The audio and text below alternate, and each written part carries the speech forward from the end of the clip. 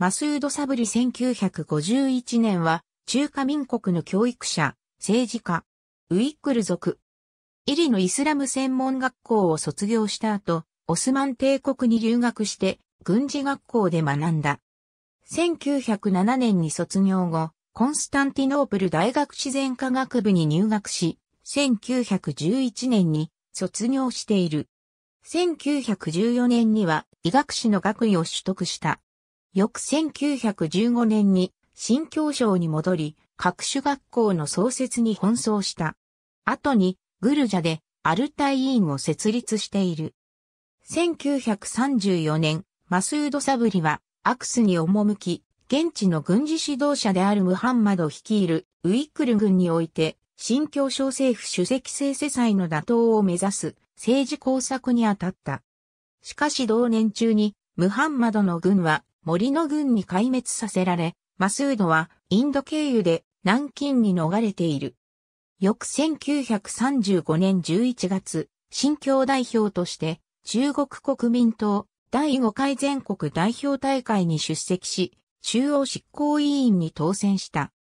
1938年6月に国民賛成会第1期賛成員に当選、続く第2期でも同様であった。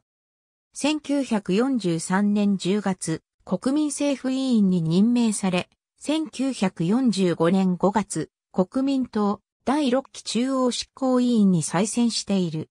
1946年2月、マスード・サブリは監察院新教区監察士に任命された。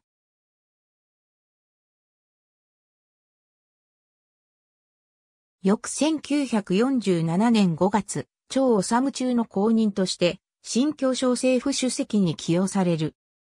しかし、国民政府中央の意向に忠実と目される、マスードの就任をきっかけに、一旦は、東トルキスタン共和国から新教省連合政府に合流していた副主席アフメトジャン・カスイミが離脱、産区経済委員会を組織して小政府に対抗した。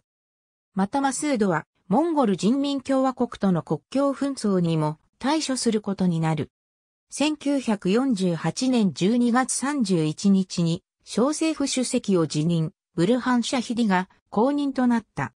中華人民共和国建国後の1951年4月にマスードは当局に逮捕され、間もなく死去した。66歳没。ありがとうございます。